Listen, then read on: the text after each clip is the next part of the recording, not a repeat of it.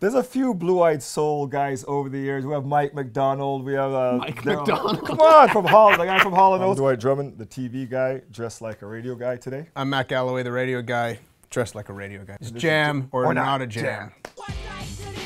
Oh, I remember this one. I want to say that I jumped off a stage once to this tune at a concert. This is a hot tune. It is a hot. This is a jam. I would jam. Guaranteed. This is history, man. But it's like this is Toronto history. yeah, we turn this one up. We'll turn this one up. This is a jam. this is funky. Is this a, is this a Scarborough kid? No, Who's this? Hold on. get everything. That's smooth, man. This kind of No. reminds me of a little Jamiroquai feel. I don't know who this is. Justin Timberlake. Oh, this is Justin. Yeah, I heard So about like it, we heard haven't heard it twice song. in the car. We were at a light. Everybody in the car is singing and dancing. we love and the guy JT, next to us looks at me over and he's just kind of like, the whole car is bouncing because we're listening to it. I like some of his older stuff too, not not the boy band stuff. Oh yes. Now we're talking. I'm trying to think who sings it. I know the song. Is it Junior Marvin? I don't know, Mikey Dread or something like that. Yeah. John Holt. I did not know John Holt sang this song, but we know this song. Now somebody told me that you're that you love your reggae. I used to work uh, at York University. the radio Yes, I station. know. There was a show called the ET Special. I met everybody who came through Shabba Ranks. John Holt came through. Yes. I mean, classic. Everybody was there. Oh, the man, the word show. on the street is that, yo, no, Matt Galloway knows his reggae, I man. got enough so- reggae records. Yeah, man. Yeah. Jam, It's, it's, serious jam. jam. Even though I'm more into jelly myself, like guava jelly, but I'll turn this up. This is nice.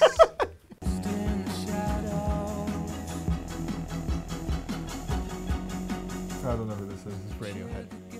Brand new Radiohead. Now I can't say I'm a big Radiohead guy, you know. I did listen to Radio Dread. Didn't they do a reggae album at one I don't. point? Somebody did a radio. Yeah, Dread Radio Dread. that, that- I not listen so to that. much. I like a little more bass in my music.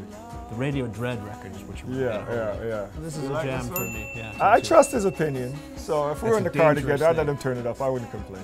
We should drive around in the car. Yeah, do That's this, what we right? need That'd be a lot of fun. I gotta fight my kids now for my radio. They come Honestly? in and they hook it up to the Bluetooth. I'm like, my car, my tunes. All right, this is a jam.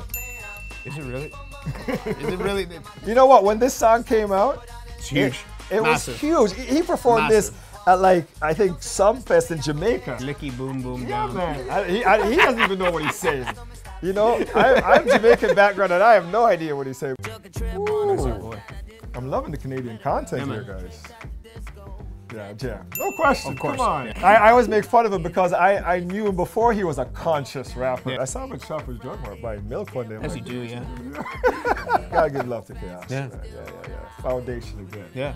Ah, Is it who good? picked these songs, man? These guys knew what they were doing. I know. We Yes. will be jamming or not jamming. Actually, we're just gonna be jamming. Not jamming, but leave the jamming to the professionals. CBC Music Festival at Echo Beach. I think I'm I'm gonna be with Maestro, so we're gonna be letting some backbone slide that day. Who are you introducing? Uh, White Horse, brilliant band, big guitar, Yeah. loud sound, uh, amazing music. Uh, May 28th at Echo Beach. We'll see you there. Come down and hang.